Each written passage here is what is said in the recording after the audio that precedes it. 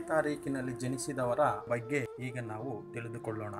ಏಳನೇ ತಾರೀಕಿನಲ್ಲಿ ಜನಿಸಿದವರು ಸಂಖ್ಯಾಶಾಸ್ತ್ರದ ಪ್ರಕಾರ ಕೇತು ರಾಶಿಯ ಅಧಿಪತಿಗೆ ಒಳಪಡುತ್ತಾರೆ.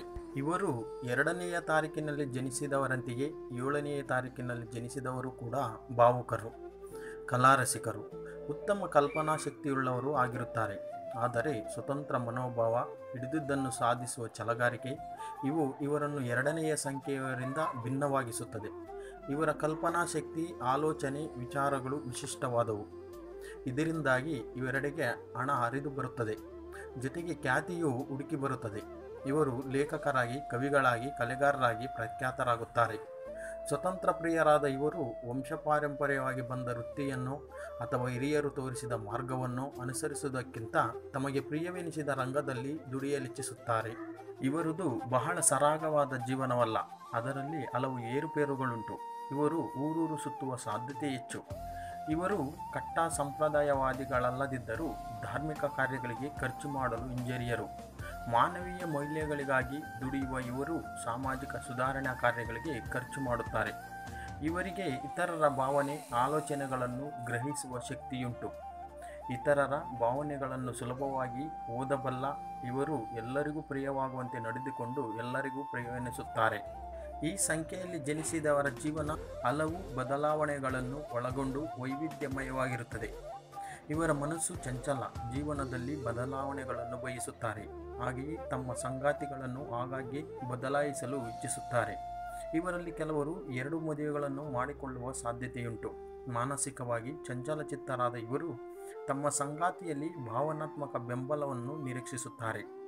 ಇವರು ತಮ್ಮ ಸಂಗಾತಿಯನ್ನು ದೈಹಿಕವಾಗಿ ತೃಪ್ತಿಪಡಿಸಬಲ್ಲರು. ಇವರಿಗೆ ಕಾಮಾಲಾಸೆ ಹೆಚ್ಚಾಗಿರುತ್ತದೆ. ಆದ್ದರಿಂದ ಇವರ ಸಂಗಾತಿ ಆದವರು ದೈಹಿಕವಾಗಿ ಇವರನ್ನು ತೃಪ್ತಿಪಡಿಸಲು ಸಶಕ್ತರಾಗಿರದಿದ್ದರೆ ಇವರ ಜೀವನ ಸುಖವಾಗಿರದು. ಇವರು ತಮ್ಮ ಸಂಗಾತಿಯಲ್ಲಿ ತೃಪ್ತರಾದರೂ ಚಪಲಚಿತ್ತರಾಗಿ ಇತರರ ಹಿಂದೆ ತಿರುಗುವ ಸಾಧ್ಯತೆ ಉಂಟು ಆದರೆ ಅದು ಕೆಲವೇ ದಿನಗಳಷ್ಟೇ. ಮತ್ತೆ ಹಳೆಯ ಸಂಗಾತಿಯತ್ತ ಹಿಂದಿರುಗುತ್ತಾರೆ. ಇದನ್ನರಿತು ಇವರ ಸಂಗಾತಿ ಸಹನೆಯಿಂದಿದ್ದರೆ ಒಳ್ಳೆಯದು.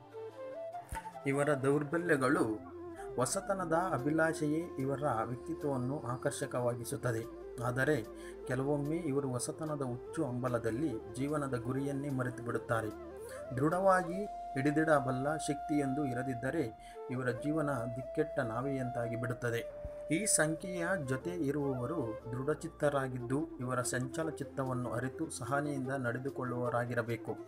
ಇವರ ಜೀವನ ನಿಶ್ಚಿತ ಗುರಿ ಸೇರಬೇಕಾದರೆ ಇವರನ್ನು ಹತೋಟಿಯಲ್ಲಿಡಬಲ್ಲ ಸಂಗಾತಿ ಬೇಕು.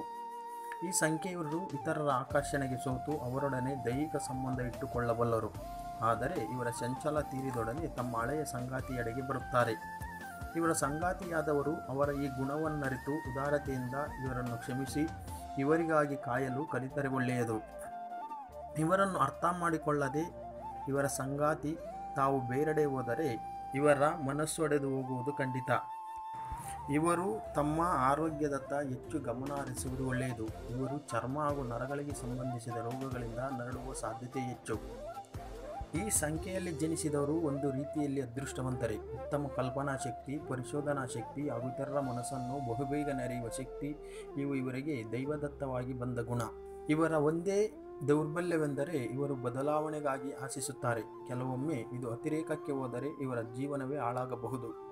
ಈ ಹೊಸತನ ಬದಲಾವಣೆ ಆಸೆಯನ್ನು ಹತೋಟಿಯಲ್ಲಿಡಲು ಕಲಿಯುವುದು ಒಳ್ಳೆಯದು. ಇದು ಒಂದು ಹತೋಟಿಯಲ್ಲಿದ್ದರೆ ಇವರ ಜೀವನ ಬಹಳ ಸುಂದರವಾಗಿರುತ್ತದೆ. ಇವರ ಹೊಸತನ ನಿತ್ಯ ನೂತನ ಗುಣದಿಂದ ಇವರ ಸುತ್ತಲಿನ ವಾತಾವರಣವೇ ಚೇತುಹಾರಿಯಾಗಬಲ್ಲದು. ಇವರು ಸಾಮಾನ್ಯವಾಗಿ ಸ್ಥಿತಿವರಾಗಿ ಇರುತ್ತಾರೆ. ಇವರ ಹಣಕಾಸು ಸ್ಥಿತಿ ಇವರ ಜೀವನದ ಉತ್ತರಾರ್ಧದಲ್ಲಿ ಉತ್ತಮಗೊಳ್ಳುತ್ತದೆ. ಇವರು ದಿನೇ ದಿನೇ ಉತ್ತಮ ಸ್ಥಿತಿಗೆ ಇರುತ್ತಾರೆ. ಒಟ್ಟಿನಲ್ಲಿ ಇವರದು ಸುಖಿ ಜೀವನ. ಇವರಿಗೆ ಅನುಕೂಲಕರವಾದ ಸಂಖ್ಯೆ ಒಂದು, ಎರಡು, ಮೂರು, ಐದು. ಅನಾನುಕೂಲವಾದ ಸಂಖ್ಯೆ ಒಂಬತ್ತು. ಇವರು ಮದುವೆಯಾಗಲು ಅನುಕೂಲವಾದ ಸಂಖ್ಯೆ ಒಂದು, ಮೂರು, ಆರು, ಒಂಬತ್ತು. ಅನಾನುಕೂಲವಾದ ಸಂಖ್ಯೆ ಏಳು, ಎಂಟು.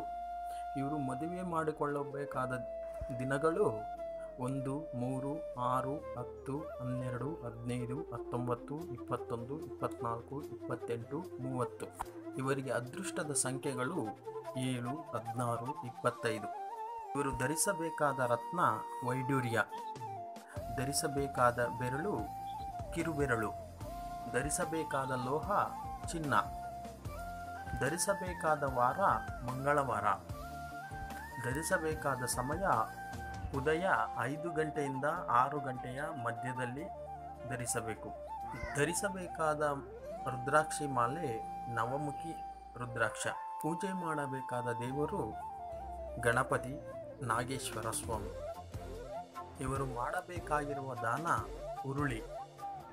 ಇವರಿಗೆ ಅದೃಷ್ಟದ ದಿಕ್ಕು, ಈಶಾನ್ಯ ದಿಕ್ಕು. ಇವರು ಪಠಿಸಬೇಕಾದ ಗ್ರಹಸ್ತೋತ್ರ ಪಲಾಶ ಪುಷ್ಪಸಂಕಾಶಂ, ತಾರಕ ಗ್ರಹಮಸ್ತಕಂ ರೌದ್ರಂ ರೌದ್ರಾತ್ಮಕಂ, ಘೋರಂ ತಂ ಕೇತುಂ ಪ್ರಣಮಾಮ್ಯಹಂ. ಈ ಮಂತ್ರವನ್ನು ಪ್ರತಿನಿತ್ಯ ಉದಯ ಇಪ್ಪತ್ತೊಂದು ಸಾರಿ ಹೇಳಿದ್ದಲ್ಲಿ ಸಂಖ್ಯೆಯಲ್ಲಿ ಹುಟ್ಟಿದವರಿಗೆ ತುಂಬ ಒಳ್ಳೆಯದಾಗುತ್ತದೆ.